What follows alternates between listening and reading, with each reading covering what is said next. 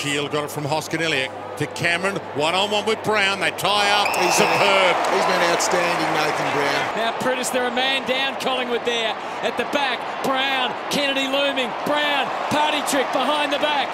Won a big ball on the outer side, outnumbered. High ball over the top. Brown claims the mark will be paid. Gets his way through. Clark's got Hawkins out wide. It's a hot handball. Hawkins has to come back. He's such a big beast, Hawkins. They get him down in the end. The. Dissimilar, Lingy, to the free kick which ended up in the rough head goal in the third term. So Schneider, he's the youngest guy out there tonight, the 18-year-old, Loney. A glut of goals in the last 10 minutes for Collingwood. Brown it just outplayed Cameron all afternoon, giving him a lesson. Off one step, kicks the ball to Revolt, push forward in the marking contest, Revolt. Vince on the wrong side for him, but he gets a good angle and gives Pedersen a chance. Well played, Brown. Pendlebury held up easily. Kicking back, good kick actually. Hawkins, well done, Brown. So he's had a couple of wins. Heads to Cameron.